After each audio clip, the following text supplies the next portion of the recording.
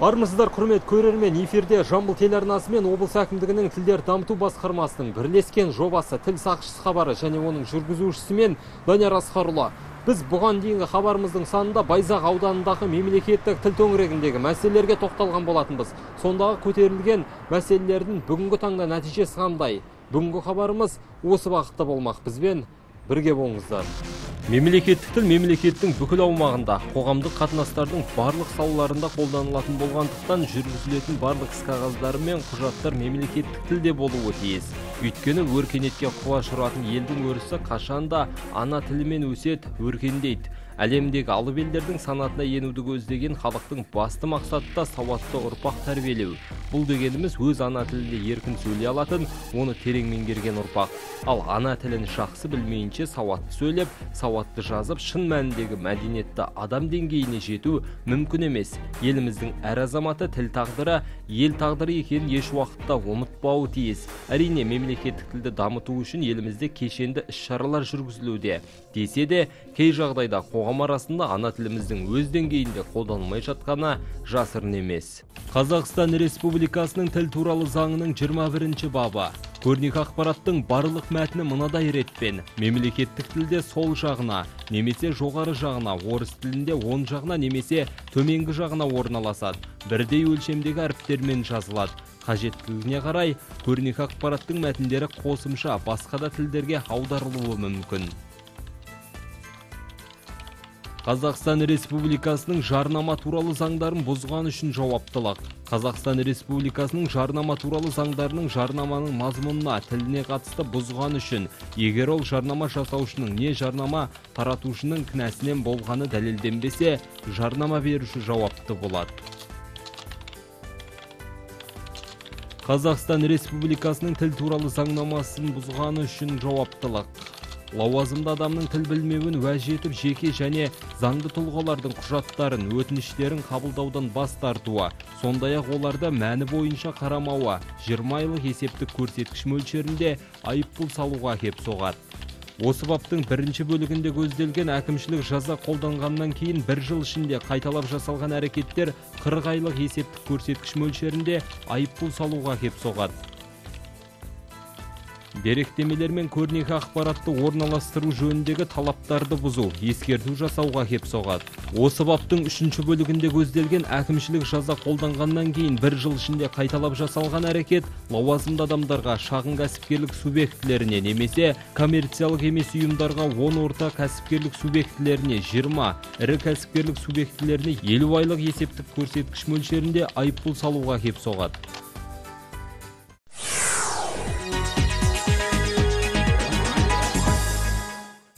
Иә бұл қоғам қажеттілігі үшін жазылған қазақстан республикасы тіл туралы заңының баптары. Әр халықтың өзінің ана тілі бар. Тіл жеке адам ойлап тапқан туынды емес ол барша ұлтқа ортақ соның төл перзенті.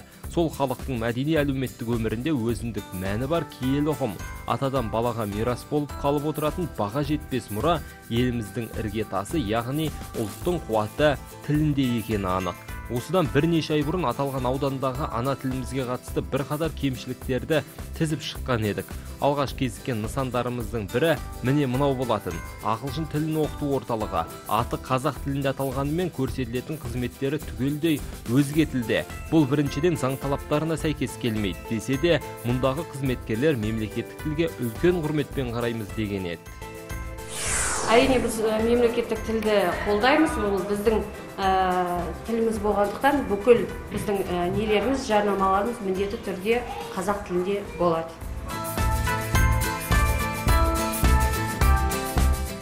Біз қазір байзақ ауданындағы орталық көшелердің біріндеміз. Мұндағы дүкен атаулары мен олардың көрсететін қызметтерінің басым бөлігі тек орыс тілінде жазылған. Бұған не себеп? Түсіндіру жұмыстары аз ба? Әлде кәсіпкерлер қазақшаға аударуға құлықсыз ба? Анықтап көрейік. Wow.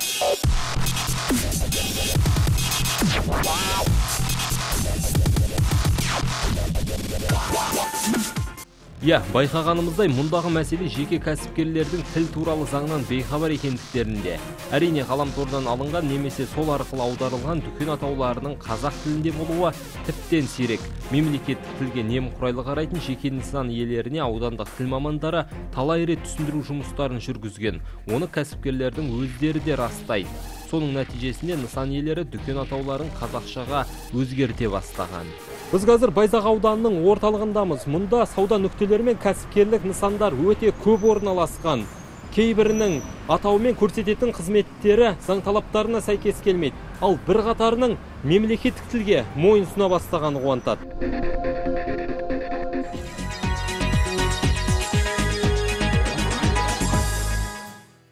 Бұдан бөлек біз түсіру тобымызбен аудан әкімдігіне қарасты бірқатар бөлімдерде де болған едік. Солардың бірі аудандық ауыл шаруашылық мекемесі. Мұндағы мәселе тұрғындар назарына ұсынылған ақпарат тақтайшаларының бірқатары тек орыс тілінде жазылған. Бұл мәселеге жауаптылардың жауабы дайын тұратыны бесенеден белгілі.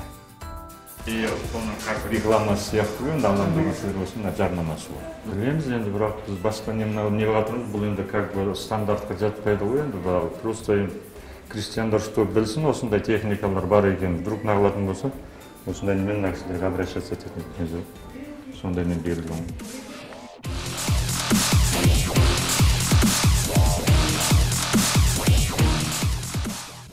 ал байзақ ауданындағы жамбыл атындағы орта мектепте жағдай мынадай. Әуелі қазақ тілінде тұруы тиіс мекеме маңдайшасының орны ауысқан. Бұл олқылыққа мектеп директорының жауабы мынадай. Келген кезде біз ауысамыз қайта біз ауысып кеткен ғой анау ақ дейді ол өткенде мен келе салдым да ауыстырып қойғанмын ана ремонттады ғой сыртын жөндеді ғой соны сіздер қыздаршы осы қыздар. Алады да мынаны мына жаққа мынаны мына жаққа ауысып кеткен. А так ол өткенде осыны біліп келгенбіз айтылды ғой. мына сол жақта тұрсын мына оң жақта тұрсын. Еще так изменение болады деді. Байзақ ауданы деген екі рет жазылып кеткен деді. Сол үшін біз күтіп отырмыз. Енді новыйын береді. оның бәрін білеміз.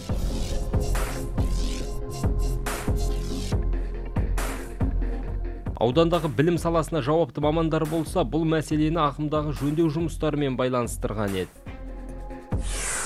Сол жағында бұл міндетті түрде мемлекеттік тілде болу керек оң жағында ресми тілде болу керек. Ол немесе жоғары жағында мемлекеттік тілде төменгі жағында ресми тілде. Бұл жерде қазір мектептердің жаңағы жөндеу жұмыстары біткеннен кейін уақытша бәрін завхоздардың тағы басқа қызметкерлерін қою. Қазір енді осы мемлекет барлық мектептерді жаңа оқу жылына байланысты дайындығына байланысты. Ертең арнайы сараптау бақылау соны тексеру өткізіледі. Сол кезде барлығы іштегі мемлекеттік рәміздердің де орналасуы сырттағы маңдайшалардың да орналасуы бәрі реттестіріп бір жүйеге келтіріледі. Бұл мынау жаңағы апақ сапақ дейді қазақта. Сол қазіргі жөндеу жұмыстарынан кейін орын алған болуы мүмкін. Болмаса мен барлық мектептерге барғанда бірінші керек нәрсе маңдайшасына қарап маңдайшасын дұрыс орналауын тікелей өзім бақылауда ұстап отырғанмын иә сол уақыттан бері арада бірнеше ай өтсе де білім нысандарындағы маңдайша мәселесі әлі толықтай шешімін таппай отыр. Базарбай ауылындағы орта мектептің басшысы маңдайшаның жоқтың желдің салдарынан десе мектепке дейінгі кейбір мекемелер қарамағындағы қызметкерлердің кемшілігінен дейді әне күні құлап қалды жел тұрғаннан. Сонымен актировать еттік та білім бөліміне өткіздік ауыстырып береміз деді күтіп отырмыз. Біреуі құлағанда гербі түсіп қалды біреуінің шеті бүйтіп сынып кетті. Оны біз өзіміз жөндей алмаймыз. Шығармыз сол жөндейміз қаусызда болған ғой осы жақында ауыстырдық біз. Бір ай болды больничныйда болып келген осы жақында ауыстырды ғой. Сол қарамағындағылардың қателіктері болып тұр ғой. Тура осындай жағдай аудан орталығынан шалғай жатқан темірбек ауылдық округіне қарасты шахан ауылындағы орта мектепте де орын алған. Жоқ қана ремонт әлі. Жөндеу жұмыстары біткен жоқ қой. Жұмысымыз біткеннен кейін барып содан кейін маңдайшасы орнатайық деп отырмыз. Біле тұра алып тастағанда ана маңдайшасын ана жерге не қылып қоямыз дедік та содан кейін ана бітпегеннен кейін астына сайдник деген нәрсені орнатамыз деді. Содан кейін төбесін жан жағын бәрін сайдник қағамыз деді. Содан кейін барып орнатасыңдар деп жаңағы жұмыс істеп жүрген жігіттердің өздерінің не басшысы сөйтіп айтты ғой бізге.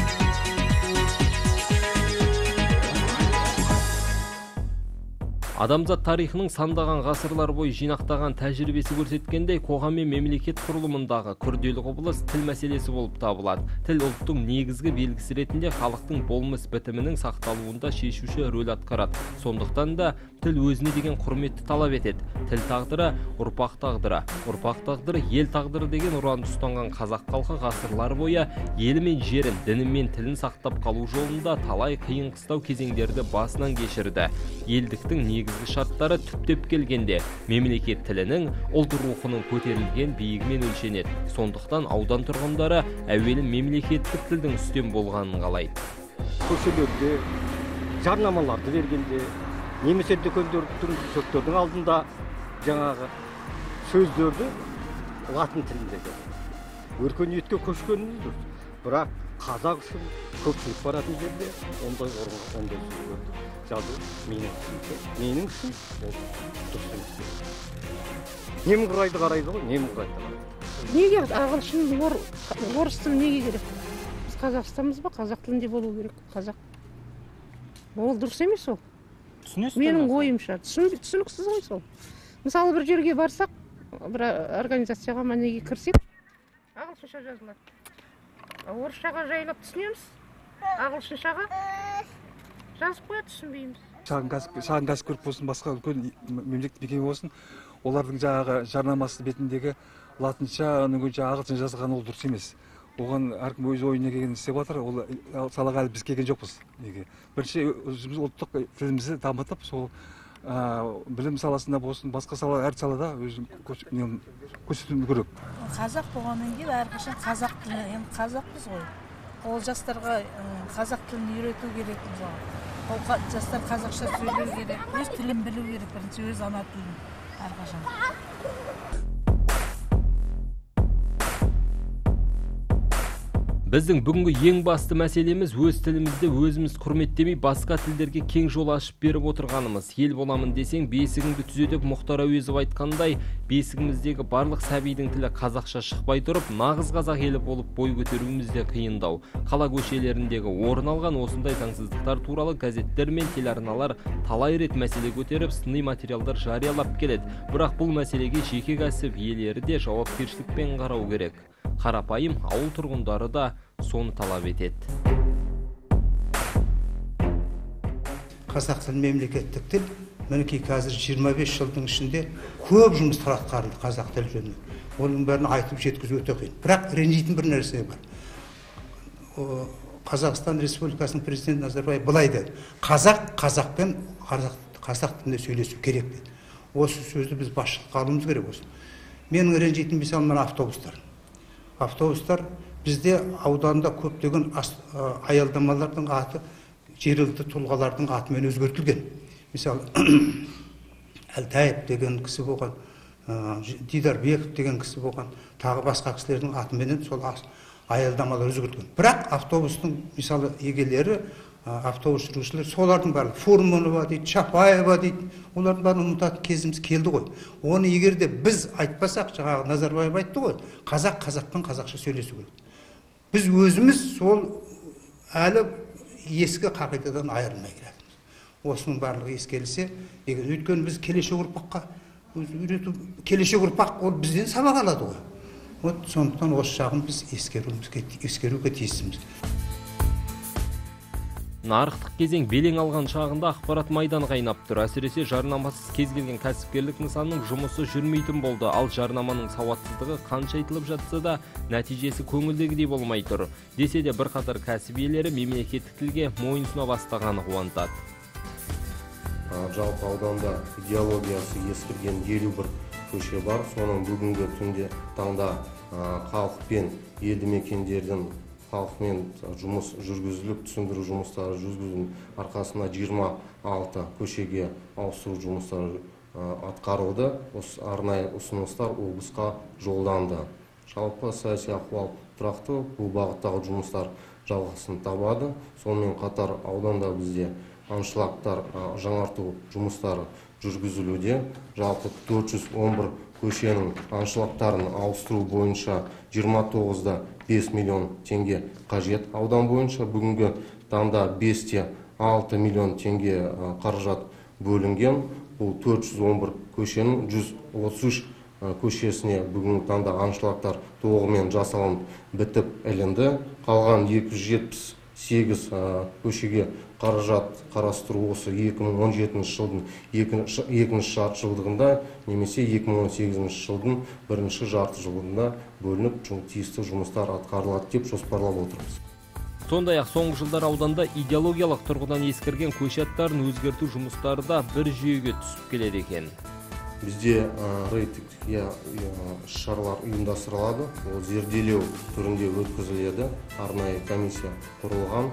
Осы облыстық ономастикалық комиссиясына мүшелерді шақыртып отырып біз осындай семинар кеңестер өткіземіз.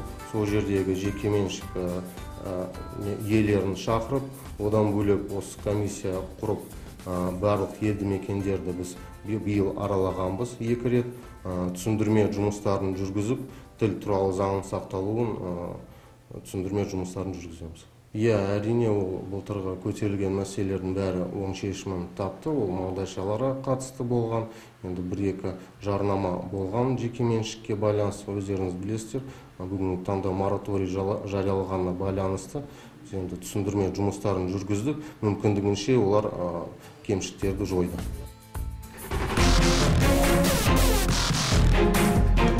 Еліміз тәуелсіздік алғаннан бергі кезеңде берекеміз кіріп ұлттық болмысымыздың жоқтығын түгендеп барын баянды етуге талпынудамыз. Әсіресе тілімізді қалпына келтіру мақсатында мемлекеттік деңгейде жүргізілген тындырымды тірлігімізге бүгінгі күні шүкіршілік етуге тиіспіз.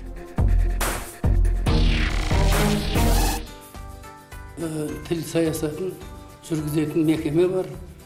Сол мекеме мысалы үшін ай сайын болсын апта сайын болсын барлық жаңағы мекемелерді олардың бәрін тексеріп отырады тіл қателіктерін жібергені болса ондай жағдайларда олардың бәрін шақырып алып оның жаңағы көлеміне размеріне байланысты бәрін түсіндіріп олардың бәрін солай жасайды. Енді ол қалада ондай көп мысалы үшін кездеседі. Ол қандай атау екенін өздері түсінбейді де даже.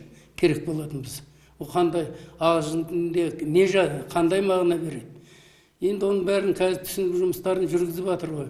Өйткені біздің тіліміз әр уақытта мемлекеттік тіл болғанмен оған құрмет әр уақытта болу керек деп есептеймін. Мысалы үшін адамның ұлттық намысы болу керек. Ұлттық намысы болу керек. Мысалы үшін ол ағылшын тілінде қандай мағына береді. Ол сонау еуропаның ар жағында неде аралда жатқан ұлыбританияның бізге не қатысы бар? Біз мысалы үшін өзіміздің тілімізді дінімізді мысалы үшін өзіміздің салт дәстүрімізді ұстамасақ келешек ұрпаққа біз не айтамыз? Келешек ұрпаққа осылардың бәрін біз түсіндіруге бәріне ниет сондай жұмыс атқаруымыз керек. Біз оған енді қарсымыз. Любой уақытта кім мысалы үшін бөтен тілде мысалы үшін тұрған. Оны түсінбейсің де оқыған күнде де. Елдің бәрі ағылшынша білмейді ғой мысалы сондай. Тіл тұғырының биікке көтерілгені халық мәртебесінің жоғарылауы. Дегенмен де кейбір мемлекеттік мекемелердегі тіл мәселесі сын көтермейтіні шындық. Мемлекеттік тілді қалай дегенде де құрметтеу керек. Өйткені мемлекет егер біздің тіліміз құрайтын болса мемлекетіміз де құриды деп есептеймін. Өйткені біздің тіліміз вот мысалы үшін жер жүзінде қанша екі мың тіл бар екен. Соның ішінде қазір соның жүз сексен ақ мемлекет болып отыр. Білеміз ғой жаңағы ұлы империя айталық советтер одағының кезінде жаңағы бурят якуттар мысалы үшін. Бәрі орысша фамилияға көшіп кетті ғой мысалы үшін. Иванов сидоров сондай өздерінің ұлттары ұлт жойылды деген сөз ол. Фамилиялары өзгергеннен кейін а бізде құдайға шүкір ондай болған жоқ и болдырмаймыз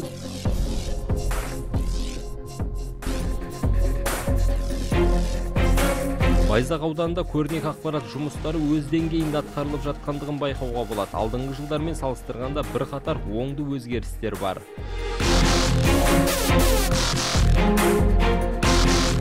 Байзақ ауданы бойынша бүгінгі күнде жаңа үлгідегі аншлагты орнату мақсатында он сегіз ауыл округ әкімдерінің бүгінгі күнге бір ауылды округ көптерек ауыл округтерге жаңа аншлагтар орнату түгел аяқтап бітті. Он жеті көшеге сонымен қатар қалған он жеті ауылдық округтер қаржы бөлініп яғни жергілікті қаржылармен бес миллион алты жүз қырық алты мың ақшаға сексен сегіз бірлік дана бүгінгі күнге орнатылды. Яғни әлі бұл жұмыстар жалғасын тауып жатыр. Ауыл әкімдері өз қаражаттарынан тағы да қаржы қарастырып биылғы жылға келесі жылдың аяғына дейін осы аңшылық орнату жұмыстарын аяқтауды жоспарлап қолға алып отырмыз. Бұл күнделікті бақылауда. Сонымен қатар аудан көлемінде мынау мағынасы ескерген көше атауларын өзгерту мақсатында мынау жергілікті жер су атауларын беру дәстүрін қолға алып бүгінде осы аудандық комиссияда қаралып бүгінгі күнге жеті мағынасы ескерген көшелер сонымен қатар жиырма алты орысша атауларды біз сарапталып бүгінгі барлық газеттерге хабарлама беріліп ауыл тұрғындарымен көше тұрғындарымен жиналыс өткізіліп құжаттар дайындалып облыстық ономастика комиссияға өткізілді құжаттары. Енді алдағы уақыттарда бұл жұмыстар қаралады деп отырмыз сонымен қатар тағы да қалған көшелерге ұсыныстар дайындалып жатыр.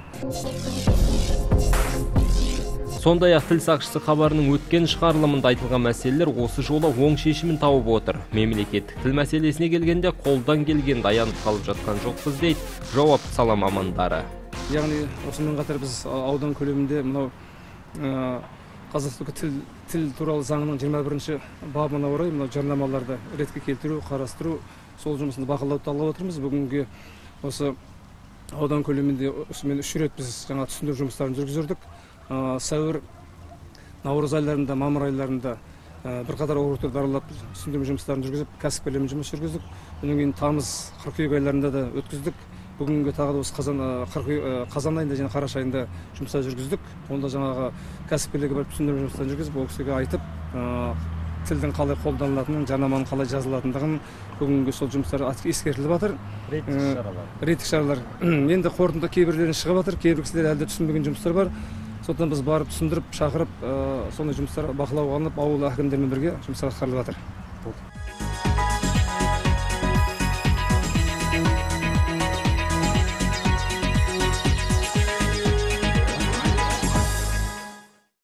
Мемлекеттік тілдің мүддесін қорғау сіз бен бізге парыз. Кез келген жерде ана тіліміздің шұбарланғанын байқасаңыз үнсіз қалмаңыз. Сонда ғана тіл тазалығы жолындағы күресіміз нәтижелі болмақ. Тіл сақшысы ол сіз бен біз.